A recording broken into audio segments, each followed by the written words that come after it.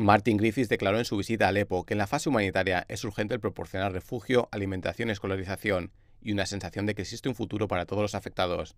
En cuanto a la situación en las zonas controladas por los rebeldes en la provincia de Idlib, en el noroeste del país, Griffiths aseguró que la ONU enviaría ayuda a esta región y que también estaban en camino cargamentos de suministros de asistencia desde Turquía hacia el noroeste de Siria.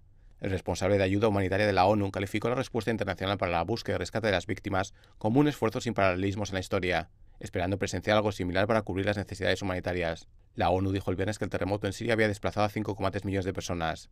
CGTN en español.